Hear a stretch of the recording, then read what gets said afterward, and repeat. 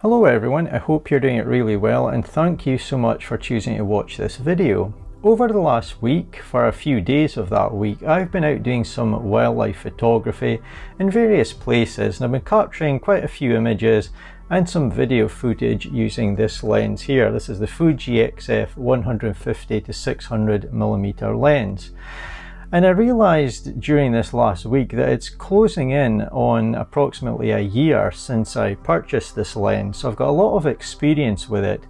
And in this video, we're going to first of all talk about my thoughts on the lens after a, a year of ownership, a year of use. And then we're going to have a look at lots of the photographs and some of the video clips as well that I've captured during this last week.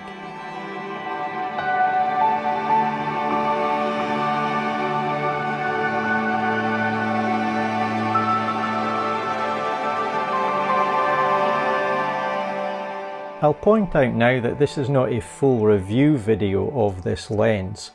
This is a video covering my impressions and experiences with the lens based on almost a year of use. And I'm also going to cover a few questions that I get asked quite regularly about this lens such as the variable aperture, uh, is f8 any use for wildlife photography and things like that. So we've got lots of interesting stuff to cover. I'm going to show a lot of photographs that I've captured over the last week and some video clips too. However, I have done a full review video on this lens. I did that quite some time ago now, so it'll be interesting to see how my thoughts are now versus that. If you're wanting to see a lot of detailed information about the lens, a full review, see uh, examples of image quality, video quality, uh, talking a bit about the variable aperture. I even cover the points in the focal length range at which the aperture changes. I give my thoughts on this lens compared to the XF 100 to 400 millimeter lens which I owned there's just an awful lot in that video. I talk about the lens build quality and so on. So if you want to see that video, I'll put a link at the end of this one and you can certainly watch it. And I'll also put a link in the description below. But for now, let's get on with my first year impressions.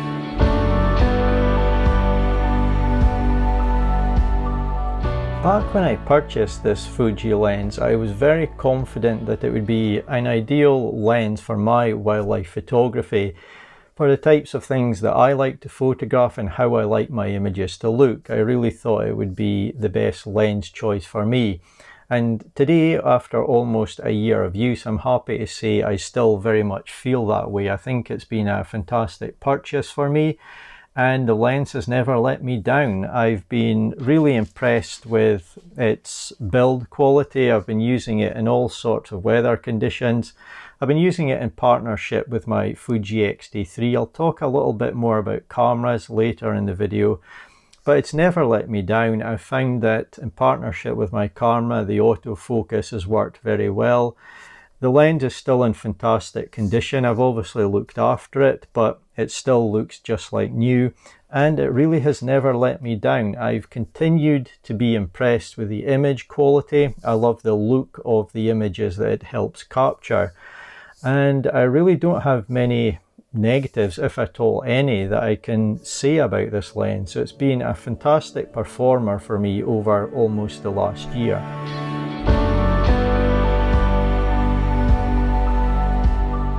Since when I purchased this lens, I've been using it on my Fuji X-T3 when doing wildlife photography. I've got a lot of experience with the Fuji X-T3 and the X-T4, but I've not used any of the newer X series bodies. So everything that you see in terms of photographs and all video that you see will have been filmed on my X-T3. And first, I'd like to talk a little bit about that. I do have memories of a lot of people saying and commenting to me that the Fuji X-T3 or X-T4 are not fantastic for moving wildlife, so for example birds in flight. Now I do acknowledge that many of the newer cameras will be better, and me personally I would love to try one of the newer X series bodies I, I really hope to have one of those at some point I think it would be a fantastic partnership to have something like an XH2S an XH2 or an XT5 in partnership with this lens here for wildlife photography. I think that would be a fantastic combination. And why do I think that? Well, that's because on my X-T3 with this lens, I found it really good for moving wildlife. Uh, I, I acknowledge and believe, although I've not tried them, I firmly believe one of the newer cameras would be better. Their autofocus system as a whole is better. Uh, I think the XH2S will be the very best of the bunch, but the XH2 and the XT5 should be fantastic as well. So I think as a whole they're going to be better. Uh, my camera, the X-T3, doesn't have, say, bird detect autofocus, so it's not going to lock onto birds for me. I have to firmly decide what I want to focus on myself before engaging the autofocus. So there are going to be advantages, but I've had very good results on my X-T3. And as I say, newer cameras will be better, but I think getting good results is based on a number of things and we can't be too quick to blame our tools. So for example, there's camera settings, there's technique, uh, there's knowledge just of wildlife photography in general. There's a lot you can do and settings you can tweak and so on to get better results. And I've actually found that uh, my X-T3 with this lens does quite good in terms of autofocus, even for birds in flight.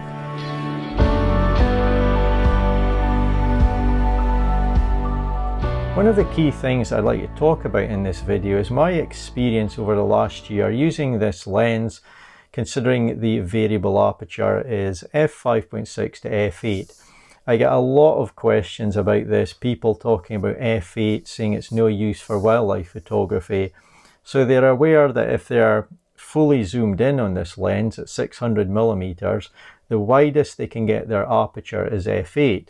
So they're thinking they're going to be using a really fast shutter speed. At f8, they're going to raise their ISO very high and image quality is going to be poor. I get a lot of questions about this. I can't talk for everyone, I can only talk for myself and the type of wildlife photography that I do and the conditions that I shoot in and so on. But I will say for general use over the last year, as I thought would be the case when I bought the lens, as I mentioned months ago in my full review, for me this aperture, the aperture values on this lens are absolutely fine for wildlife photography. I mostly shoot in good light, but even if light is not optimal, there's still not a major problem with this lens. There's a number of things to consider and things have even improved since I made my initial review video. So first of all, in terms of the X-T3 and X-T4, considering their sensor size, I think they handle higher ISO values quite well. That's been my experience. Now things are even better for us as wildlife photographers because there's been a number of advancements in software. So for example, even Lightroom now offers better noise reduction. So higher ISO values are not as intimidating or scary uh, as they once were. So the combination of camera, body and software goes a long way to eliminating a lot of the issues. I captured this photograph of a roe deer at ISO 8000 and with some noise reduction applied I am really happy with the result.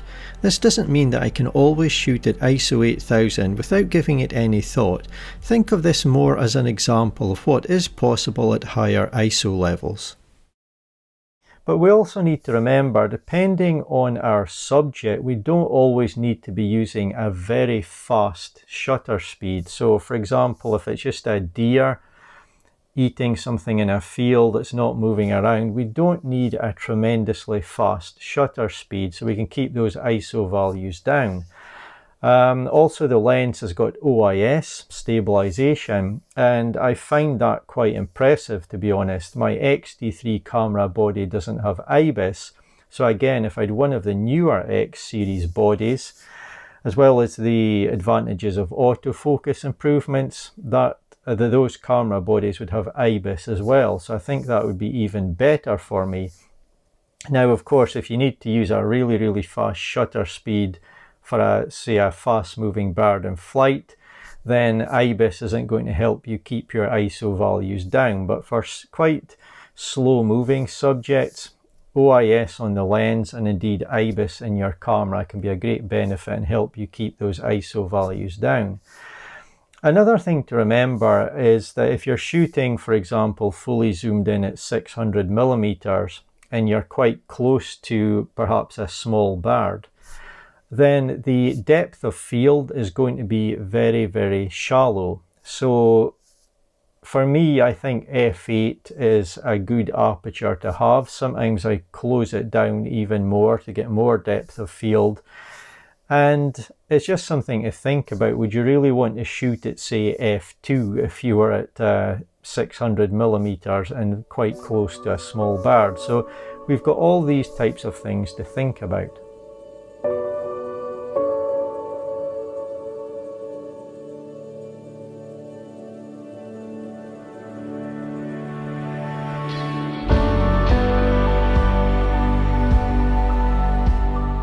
Would be wrong of me to sit here and say that this lens here, if you've got a compatible Fuji camera body, then this lens is the very best choice for you and your wildlife photography. No matter what you shoot, no matter when you shoot, no matter the lighting conditions, this lens will be the very best choice. That's wrong, I, I can't say that obviously. But I think for most people who shoot, say, a variety of subjects, and shoot at different times of the day and so on, I do think this is going to be an excellent lens which will deliver results that you really, really enjoy. I like to think of it this way. If, for example, I was always doing my wildlife photography from a hide and I'm always shooting deer. Deer are quite large and I know they're going to be quite close to the hide. They're not going to see me. Then I don't think this lens, the XF 150 600 millimeter lens, is the very best tool for the job. It can do the job, but it's not the very best tool for the job. In terms of a wildlife lens, I think the XF 200 millimeter, which I think is an f2 aperture, that would probably be the ultimate tool for the job. It's a fantastic lens, I believe. I've never tried it. I would absolutely love to try it. I think it would be fantastic in some situations quite an expensive lens, but it would be really, really good. And in the situation that I just described, I think that lens would be an excellent choice. The lens I have here in front of me could still do the job, but arguably you may get better results from the other lens. So that's how I like to think of it. But if you're just shooting, you know, a variety of subjects, you're going to be at a variety of different distances. Sometimes you're going to be shooting small birds that are further away then this lens right here, for most people who shoot a variety of different subjects, a, a variety of distances, and different lighting conditions and so on, I really do think that this lens will be a fantastic choice for them.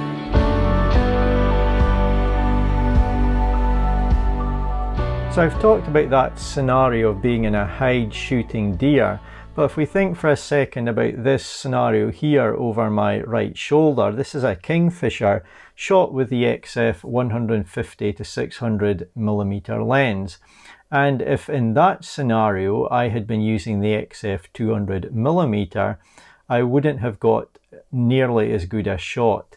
I would have just been too far away from my subject. I couldn't have got any closer.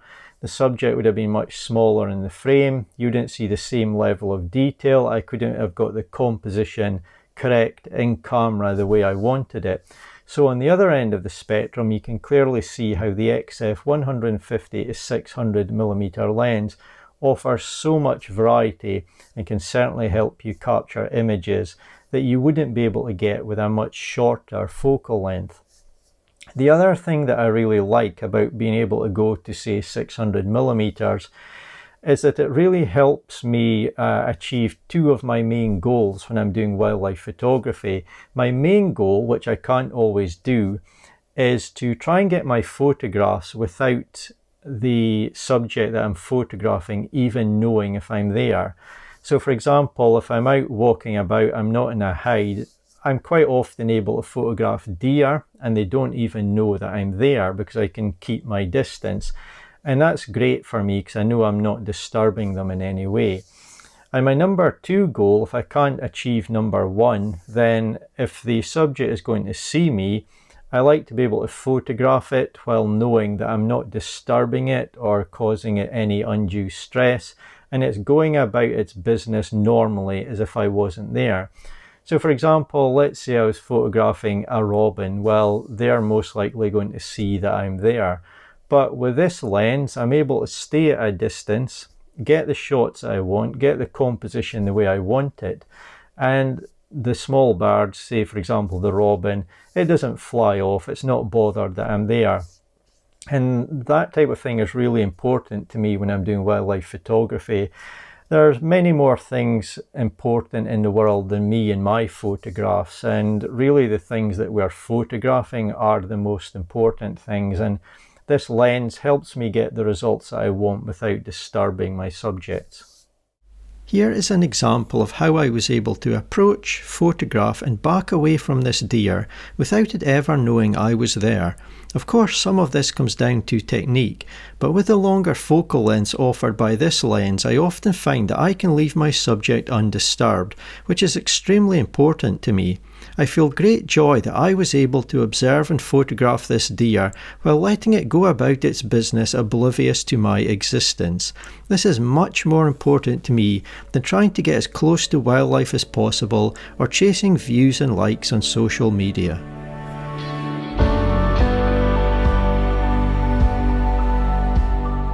Now on to one of the most important parts of the video and as I said over the last week for a few days during that period, I've been out doing some wildlife photography with my Fuji X-T3 and the XF 150 to 600 millimeter lens.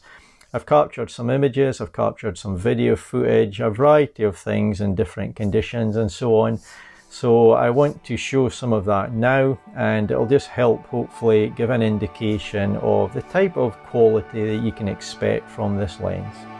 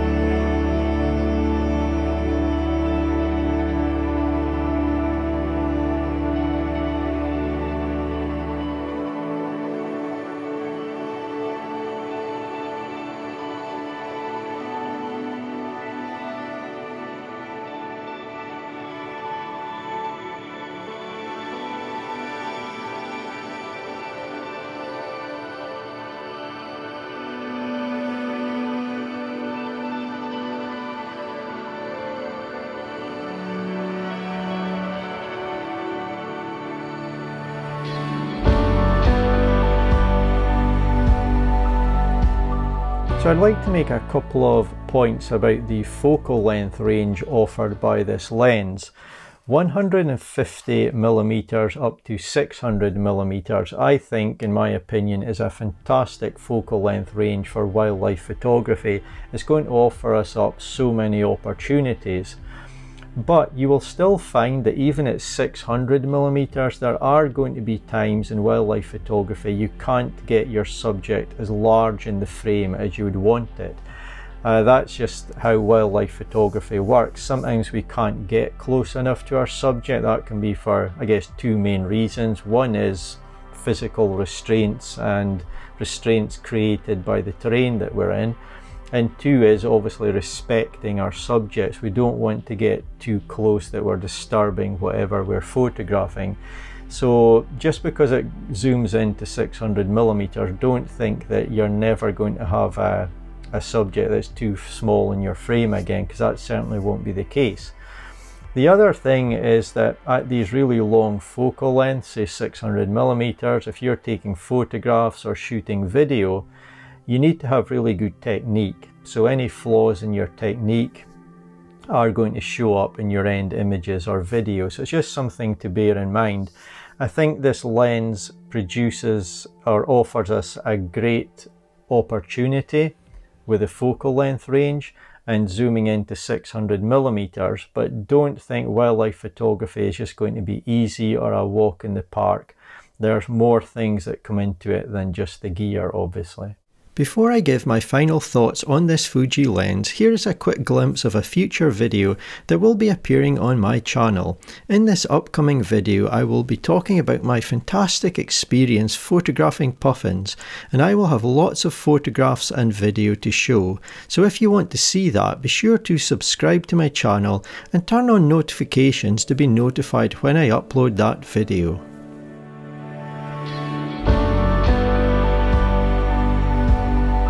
Summary, I can honestly say that as I near a year of use with this lens, the Fuji XF 150-600mm, I love the lens. I've been delighted with my purchase. It's not let me down. The build quality is great. The image quality is great.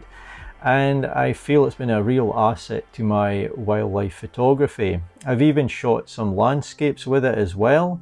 It doesn't get as much use for that, but I have used it and I've been really pleased with the results for those types of photographs as well. I previously owned the XF 100 to 400 millimeter lens. I also had the 1.4 times teleconverter for that lens and I got rid of those and I replaced them with the 150 to 600 millimeter lens and I don't regret that for a second at all. I think it is a fantastic choice. As I said, I've been using the X-T3. There are newer X series bodies which will offer even better autofocus. And again, I think that would even help further my wildlife photography. But even with the camera that I've got, I've been delighted with the results. And I really do recommend this lens. Can I say it's the lens for everyone? No, who could? But if your needs are similar to mine and you're shooting a variety of subjects in different conditions and so on, and you want to have that 600 millimeter focal length available, then I think it's a fantastic lens in the right hands. As always, I want to thank you so much for watching. Don't forget to check out my full review of the lens if you haven't seen that one. I've got more wildlife uh, photography videos on my channel and also lots of landscape photography ones as well. So feel free to check those out if you are interested. But for now, thank you so much for watching and I'll hopefully see you in my next video.